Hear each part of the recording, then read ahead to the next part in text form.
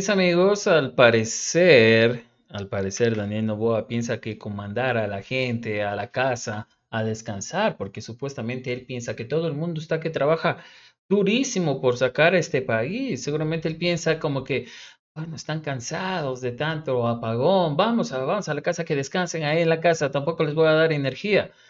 Pero les quiere dar un día de descanso a la sociedad para supuestamente apoyar el sector turístico. Pero yo creo que no ha entendido, no ha entendido Daniel Novoa de que la gente no está trabajando. No, hace algunas semanas algunos no están trabajando, miles, mejor dicho, no están trabajando. O si trabajan, los que tienen la suerte de trabajar ahora, lo están haciendo a media jornada o la jornada que tienen energía.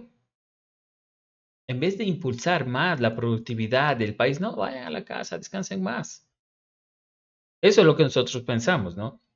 Porque te manda a la casa que no hagas nada, cuando no estamos haciendo nada.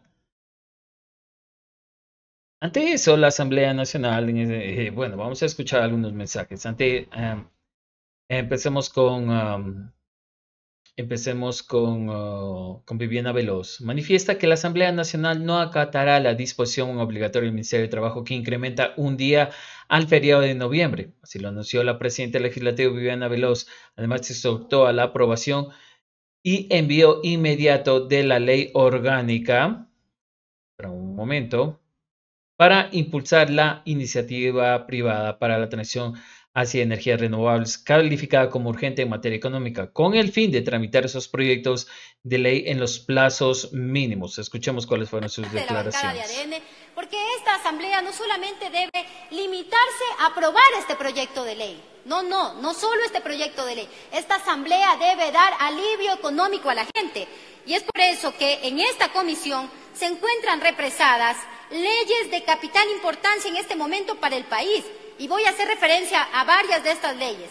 A la ley de alivio económico para el sector agrícola, a la ley reformatoria al Código Orgánico Monetario orientada también al alivio económico y en este caso de los usuarios del sistema financiero, así como a la ley para la efectiva recuperación de recursos públicos, entre tantas otras. Por eso, le digo a la señora presidenta de la Comisión que deben tramitar estos proyectos de ley utilizando los plazos mínimos, como si tuvieran carácter de económico urgente. Pueden en primer debate, en 20 días, aprobar el primer debate de estas leyes y luego aprobar, debatir en el Pleno y, por ende, aprobar el segundo informe en la comisión y trasladarlo aquí, con la misma urgencia que tiene un económico urgente, porque la gente necesita tener alivio financiero, porque si no, lo que va a pasar es que la gente se va a ver en una situación que no va a poder ni siquiera pagar las deudas que tienen contraídas o van a terminar cerrando sus pequeños negocios, sus pequeñas empresas, como sucedió en la pandemia del COVID-19. Y esta Asamblea no puede ser indolente con las necesidades de la gente. Por eso conmino a la Presidenta a que estos proyectos de ley sean tramitados sean aprobados de la mesa legislativa y sean enviados de forma urgente a, esta, a este pleno de la Asamblea Nacional.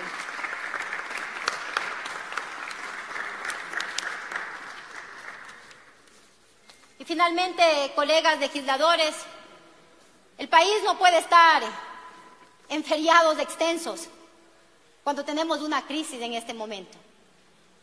Por ello, veo con asombro que el, Ministerio de Trabajo manifiesta que ha concluido hay que tiempo, un minuto más, señor presidente encargado. Proceda, por favor. Se comunica y con esto voy a culminar porque es importante, colegas legisladores. El Ministerio de Trabajo ha dicho que se comunique el acatamiento de la disposición obligatoria para el sector público y privado. Primero parece que el Ministerio de Trabajo desconoce que la Asamblea Nacional es una entidad autónoma de la función ejecutiva y que por ende no está sujeta a acatar las disposiciones en temas de talento humanas, de talento humano emitido por el gobierno central. Esta asamblea va a trabajar esta asamblea no se va a paralizar y claro está, va a tomar todas las precisiones para también tener ahorro energético dentro de todas las instalaciones de la Asamblea Nacional y en las casas legislativas. La asamblea no va a acatar esta disposición de tener un día más de feriado cuando el país debe trabajar y cuando esta asamblea debe darle respuestas también a los ecuatorianos. Gracias. Directito, amigos. Así es. Es que es, al parecer, esa es la intención, amigos, de este gobierno, de tratar de confundir a la sociedad de, de, disuadir de que se esfume, amigos, la crisis que hay, pero es que no hay como olvidarse, amigos, de esta crisis energética, porque vos estás, qué sé yo, haciendo tus actividades y de pronto se te va la luz y te acuerdas, ah, cierto, tenemos apagones. O estás preocupado, ¿a qué hora se va la energía? ¿A qué horas vuelve la energía? Son unos, unos eh, subidones de ánimo. Cuando vuelve la energía, todo el mundo aplaude, bravo. Cuando se va la energía, ay, qué tontera de gobierno. Eso es lo que pasa. Tenemos todos los días, y, y, solo ahí en ese momento, ahora, si estás trabajando, estás produciendo y ves se te va la energía, te apuras, estás doble estresado, encima de que no hay mucha producción, encima trabajar al estrés. Es una situación muy, muy difícil, amigos.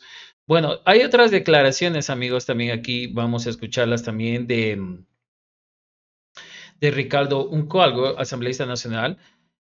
Eh, en el cual, eh, en medio del segundo debate del proyecto de ley orgánica para impulsar la iniciativa privada en la atracción de energías renovables calificado como urgente en materia económica, indica que el principal problema para el cual la crisis energética fue la falta de voluntad para realizar mantenimientos a las hidroeléctricas, lo que hemos dicho, pero Novoa ahora trata de, ¿qué será que si no le sirve de aquí a dos meses te va a mandar para que le apruebes otra ley?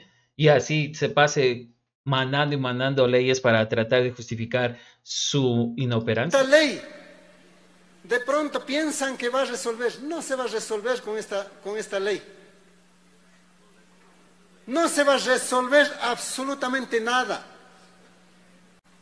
Lamentablemente nunca tuvieron la voluntad política de hacer mantenimiento de las hidroeléctricas. Nunca pensaron de hacer los mantenimientos en las empresas. Y aquí está el resultado. Que esta ley.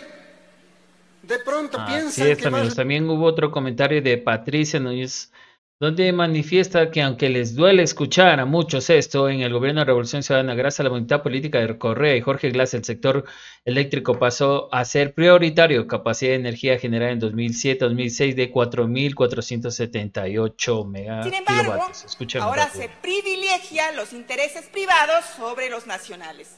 Se opta por el alquiler de barcazas en lugar de aprovechar nuestro capital humano y nuestros recursos hídricos, solares o geotérmicos. Aunque a muchos les duele escuchar esto, quiero recalcar que la revolución ciudadana con la decisión política de Mashi Rafael Correa y del vicepresidente Jorge Glass, el sector eléctrico pasó a ser prioritario.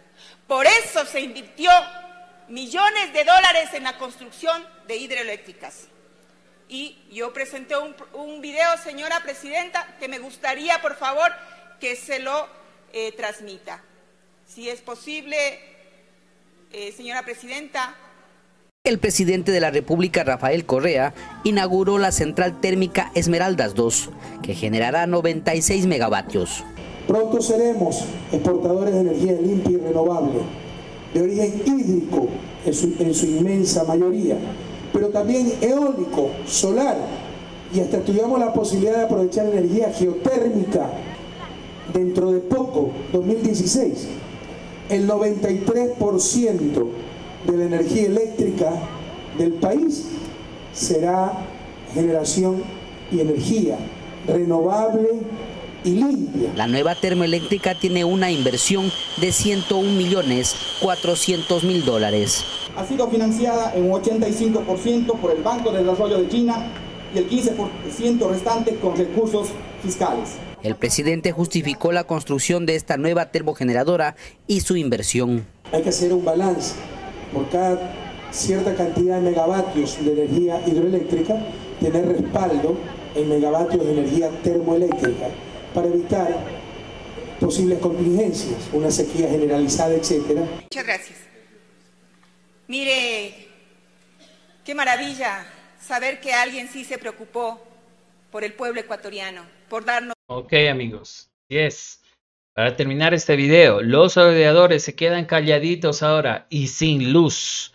El país de la desesperanza, el país de la terrible derecha.